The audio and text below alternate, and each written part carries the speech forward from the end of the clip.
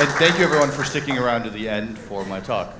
So today we want to talk about privacy on the internet, and I want to talk about the worst violation of your privacy there is.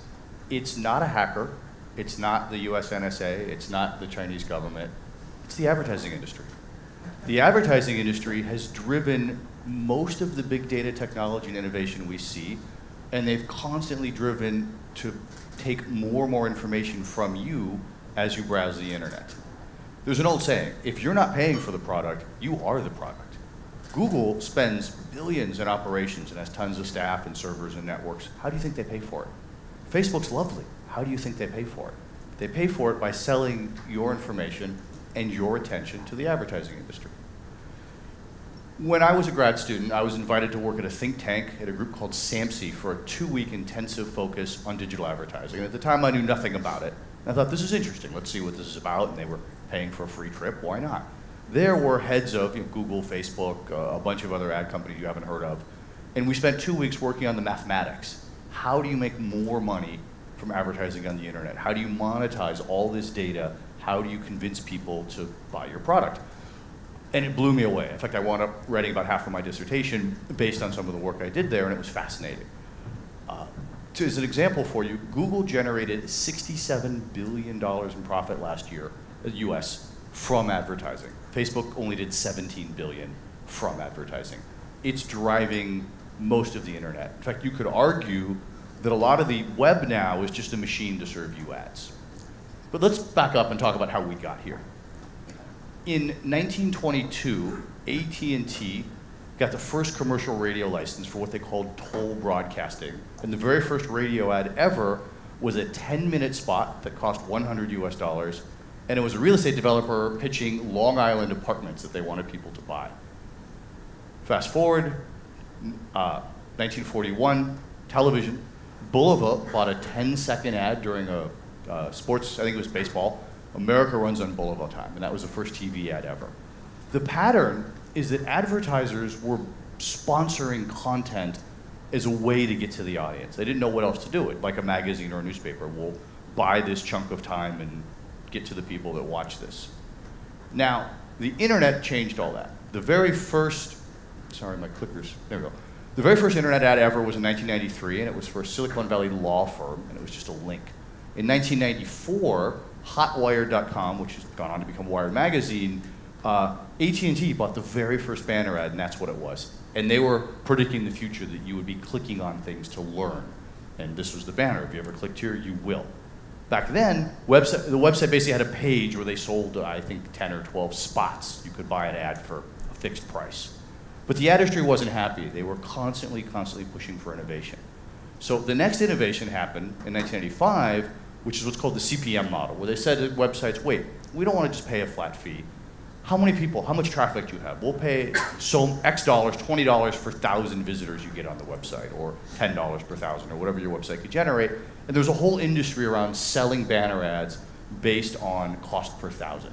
The advertisers still weren't happy because they said, well, hey, lots of people are coming. They don't click on my ad. I don't get any benefit. So the next level was pay-per-click. And that was innovated in 1998 by Bill Gross, uh, who worked with InfoSeek and Yahoo. It was actually not Google. Google took it from him. And he came up with the idea of auctioning. Hey, we'll auction off pay-per-click and sell it to the highest bidder. The advertising industry got a little happier. And, okay. Now, there's an old saying, John Wanamaker, who was department store owner in, in New York, said, I know half my advertising dollars are wasted, but I don't know which half. And this has been the struggle for the advertising industry forever. How do we best profit or best leverage our ads? And the next innovation that they came up with was a cookie. How many people here are familiar with cookies? And not chocolate chip? okay. This is what a real cookie looks like all the way at the tip of the arrow. In other words, it's invisible and you can't see it.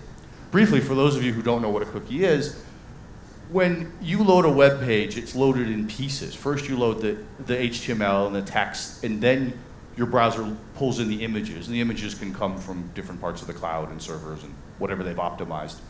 So what the advertisers did is they got smart.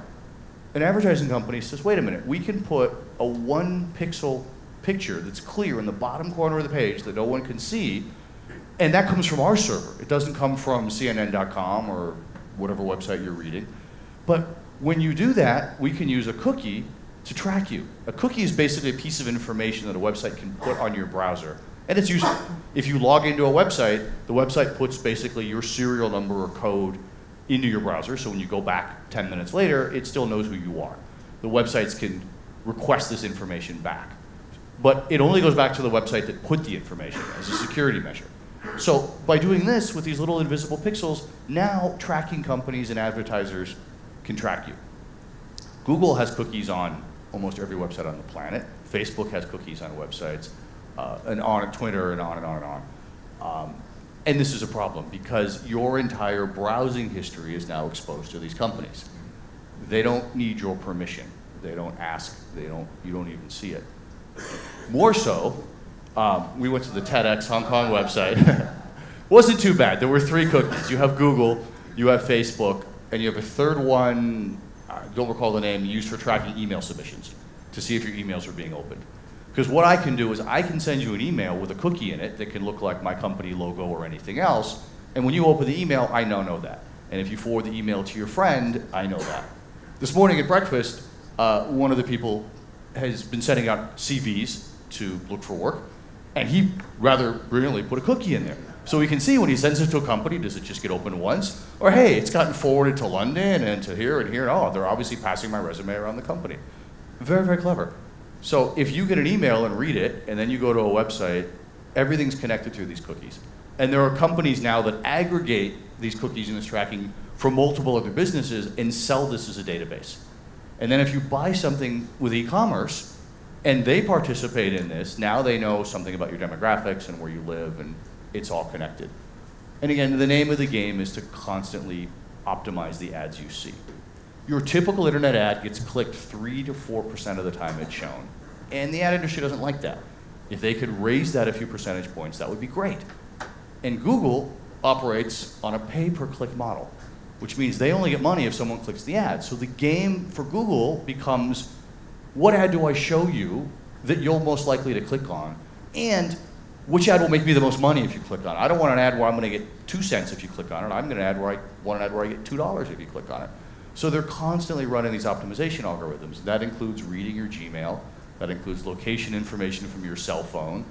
That includes, uh, if you use the Google Voice calling stuff, that includes transcripts of your voicemails that you receive, any piece of data they can to figure out what ad to show you. Um, I did a study where I visited the top 25,000 most traffic websites is ranked by Alexa, and we looked at who's trying to stick cookies. We wrote a little software program. Who's trying to stick cookies on us and see what they do. Google, not surprisingly, is on almost every website.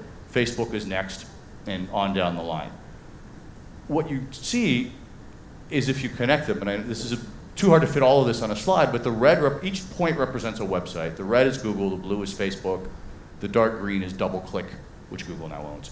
Um, and you can see that by just going to a few websites, lots of companies know who you are, and lots of companies can track you and share your information.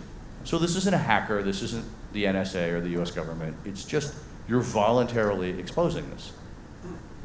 The other interesting thing is I'm sure as you go to lots of blogs and websites, you see these fun little buttons. Hey, click here to post this on Facebook. Hey, you can tweet this to your friend. Well, the minute you download that little picture of an F, that comes from Facebook. So they now, you don't have to click it. The fact that that picture loaded in your browser now means they know you were there. And if you've logged into Facebook, that now gets connected with your Facebook profile and everything you've posted there. So they know a whole lot about you. Now, interestingly, there's a company called AddThis and they put out this free toolkit. Hey, you want to have a, a, blog or a website? Don't worry about drawing the buttons. We'll just give you this little widget. You just plug it in, you get all the buttons. It's on us. The dirty secret is this is owned by Oracle. Oracle then aggregates all of that data and sells it as part of their service to large companies to optimize advertising. Oracle brags that they now get data from 15 million websites because of this lovely free widget with the buttons. So there's a lot of stuff out there. The next evolution that's happened is what's called real-time bidding. A little bit scary and fascinating. When I visit CNN.com, when I click go in my browser, not to pick on CNN, um, instantly and a bid, a request is sent out to all these ad companies saying, here's this guy, here's all the information we know about him, here's his ID number if you want to look him up in your database or all this stuff. How much do you want to pay to show him your ad? And all these companies submit their bids in about 10 milliseconds, and the winner gets to show me the ad. So the ads you see on the page are real time getting fought over by these advertisers wanting to show you the ad. They like using statisticians like me because I help develop math models to say, hey, which ad is the most likely to get clicked on for this person based on their profile and what we know. So there's lots of very advanced mathematics and lots of the big data and data science that we now use in lots of toolkits all comes from the ad world. This was a chart done several years ago looking at all the different companies involved in the ecosystem of digital ads and selling ads and managing and trading your information. And it's massive. And that's a five year old chart. It's much, much worse now.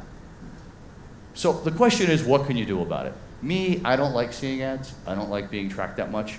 So there are three plugins I run in my browser, and they're available for both Chrome and Firefox. Uh, in the upper right is uh, uBlock Origin.